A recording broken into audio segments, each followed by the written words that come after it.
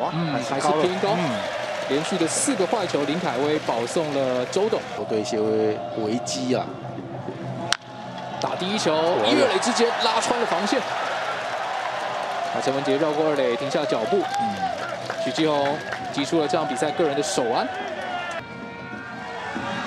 滑球连发，这一次让弗莱喜挥了空棒被三振，很好哦。继续滑，主审拉弓。林凯威关键时刻滑球解围，连飙两 K。八局上半，兄弟留下两个残垒，龙队还是一分领先。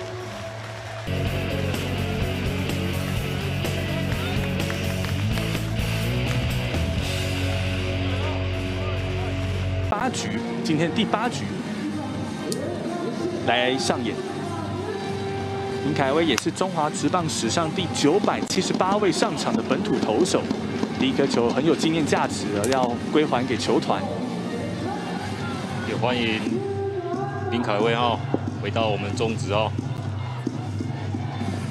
本季在二军出赛过两场，一点二局被打三支单打，被上垒率是一点八零。这颗球来到了一百五十一公里，一好一坏。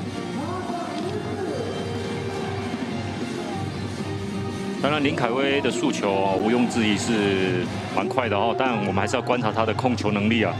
评价非常高的一颗滑球，对，速度也很快。截线这一棒打左半边，但是还是没有落地。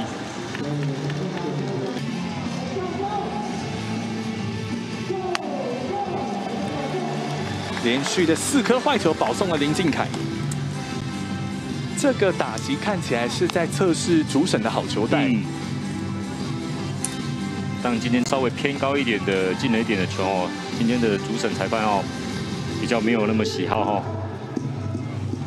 百三十五公里，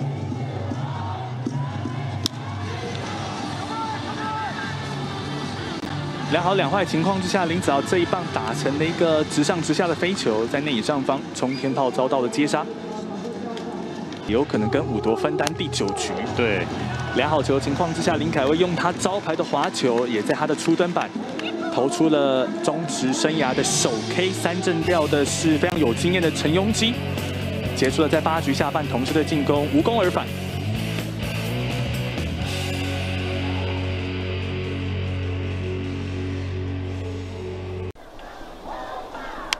这个球点了点成了小飞球，郭俊麟自己扑下去，把这个飞球给接到手。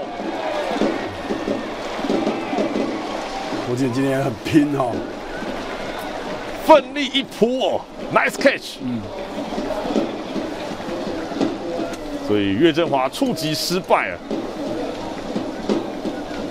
这也算是投手的一个美技啊。今天岳振华怎么打过不了郭俊这条线呢？我再看一次，其实他也是非常积极要下球哦。嗯。